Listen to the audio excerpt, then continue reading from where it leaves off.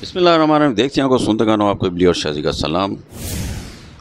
कलेजी वो भी तवे पे अगर बनी हो तो क्या कहने? हमारी स्ट्रीट फूड्स हमारे रेस्टोरेंट्स पे अक्सर आप तवे पे फ्राई करते हुए कलेजी को देखा होगा। मौसम सर्दी का हो, गर्मी का हो बाहर का हो खजा का हो, बर्फ़ानी हो, तूफ़ानी बारिश हो हो रही हो तो तवे पे अगर कलेजी को फ्राई करके बना के खाया जाए तो उसके क्या कहने? बहुत ही फ्लेवरफुल होती है, बहुत टेस्टफुल होती है।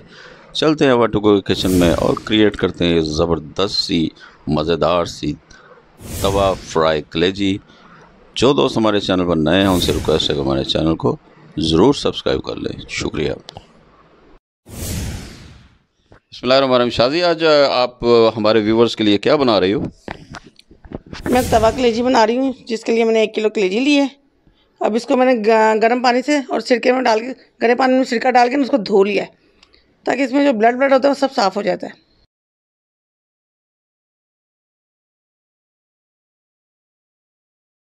शाजी ने कलेजी को 10 मिनट के लिए बॉयल भी कर लिया है ताकि उसमें से जो ब्लड होता है सारा अच्छी तरह निकल जाए। अब देखिए ड्राई हो गई है बड़ी अच्छी लग रही है।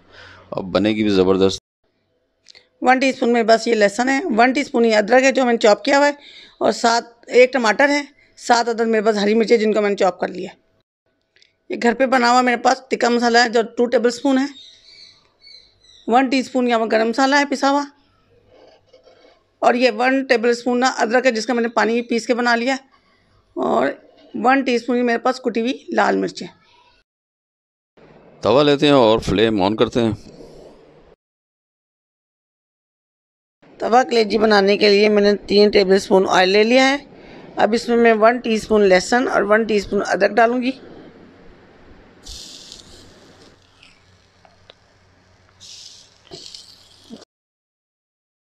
शादी आपने लहसुन अदरक तो ऐड कर दिया। अब आप किसको कितनी देर तक भूनोगी और इसका फ्लेम कौन सा होगा? हमने इसको तीन मिनट तक फ्राई करना है लहसुन अदरक को, और फ्लेम हमने हाई रखा हुआ है। अब हाई फ्लेम पे हम इसको तीन मिनट तक फ्राई करेंगे, फिर इसमें हम कलेजी डाल देंगे। लहसुन अदरक हमारा फ्राई हो गया है। अब इसमें मैं कलेजी डाल के इसको फ्राई करूँगी।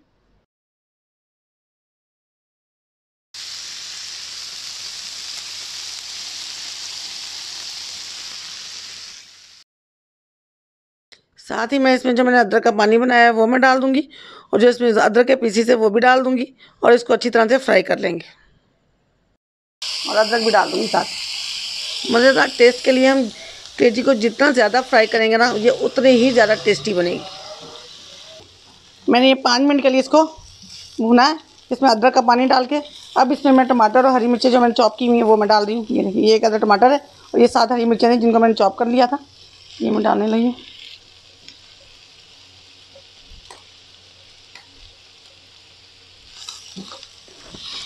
टमाटर और हरी मिर्चों को हमने इसमें मिक्स कर दिया है। इस पॉइंट पे हम फ्लेम को मीडियम कर देंगे और इसको अच्छी तरह से फ्राई कर लेंगे ताकि इसकी जो स्मेल है वो ख़त्म हो जाए। और ये ढाबा स्टाइल रेस्टोरेंट स्टाइल और फ़ूड स्ट्रीट जैसी टेस्टी और लजीज बन के तैयार हो। इसमें मैं थोड़ा सा पानी डाल रही हूँ। ताकि कलेजी हमारी नीचे ना लगे, इसलिए मैं साथ थोड़ा सा पानी भी मिक्स कर दी भूनते वक्त थोड़ा सा पानी फेंकते जाए ना तो कलेजी बड़ी अच्छी बनती है। का कलर भी चेंज हो गया है। मैं थोड़ा सा पानी और डालूँगी इसमें, ताकि हमारे टमाटर भी इसमें अच्छी तरह से मैश हो जाए।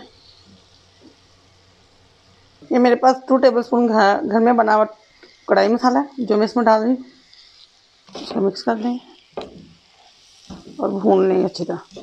साथ ही मैं इसमें थोड़ा सा पानी डाल दूँगी, ताकि हमारी जो मैंने मसाला डाला वो नीचे लगे ना, और वो अच्छी तरह मिक्स हो जाए। थोड़ा सा इसमें पानी मज़ीद ऐड करके इसको अच्छी तरह भून लेंगे। शाजी गाहे बगाहे थोड़ा सा पानी ऐड करके उसको भून रही है, ताकि ये अच्छी तरह तैयार हो सके। अब इसमें ये हाफ़ टी स्पून मेरे पास ये पिसा हुआ गर्म मसाला है, ये मैं डालने लगी और वन टीस्पून मेरे पास ये कुटी हुई लाल मिर्च है। इसका ज़्यादा दखल होता है, कुटी हुई लाल मिर्च का। जब मैं इसमें फिर थोड़ा सा पानी डाला मसाले को मिक्स कर लेंगे अच्छी तरह अब इसमें मैं थोड़ा सा पानी डाल के इसको ज़रा ढक्कन लगा दूँगी।